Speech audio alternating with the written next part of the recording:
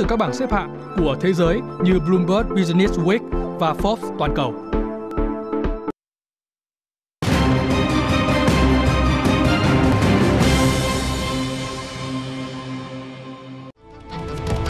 Giá nhà tăng hay giảm do ảnh hưởng của Covid-19?